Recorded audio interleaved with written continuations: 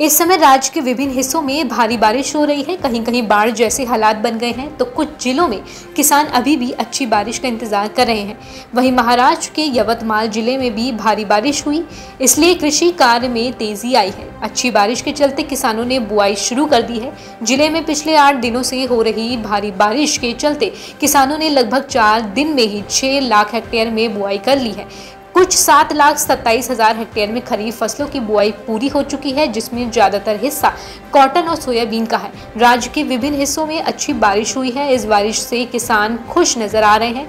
वहीं मुंबई, ठाणे, पालघर, रायगढ़, रत्नागिरी, सिंधुदुर्ग, पुणे, सतारा और कोल्हापुर में भारी बारिश के बाद किसान खुश हैं। वहीं मराठवाड़ा और विदर्भ के कुछ जिलों में भी अच्छी बारिश हो रही है। मराठवाड़ा के हिंगोली परमभणी और नादेड़ ज़िले में कुछ जगहों पर बैकलॉग है। है। वहीं मूसलाधार बारिश के कारण नदियाँ और नाले उफान पर हैं। वहीं कोंकण में भी अच्छी बारिश हो रही है। दरअसल खरीफ सीज़न की ज़्यादातर फ़सलें मानसून पर निर्भर होती हैं, इसलिए बारिश होने की वजह से किसान खुश है। खरीफ सीज़न के दौरान कुल नौ लाख दो हज़ार हेक्टेयर में बुआई के लिए योजना बनाई गई थी। इसके अनुसार अब तक कुल सात लाख सत्ताईस हज़ार हेक्टेयर क्षेत्र में बुआई हो चुकी है, जिसमें से ज़िले में कपास चार लाख अट्ठारह हज़ार हेक्टेयर, सोयाबीन दो लाख तेईस हज़ार हेक्टेयर, ज्वार तीन हज़ार हेक्टेयर, चना एक हज़ार पाँच सौ पिछहत्तर हेक्टेयर, उड़द एक हज़ार पाँच सौ अंठानवे हेक्टेयर, गन्ना एक हज़ार पाँच सौ संतानवे हेक्टेयर, मक्का एक सौ तीन हेक्टेयर।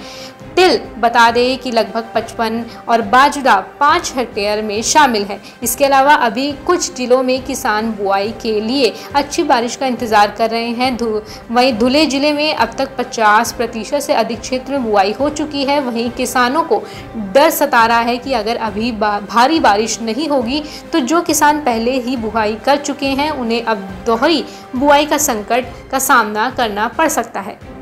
वहीं सरकार चाहे कुछ भी कहे और करे, किसान उन्हीं फ़सलों की खेती करते हैं जिनमें उन्हें ज़्यादा फ़ायदा होता है।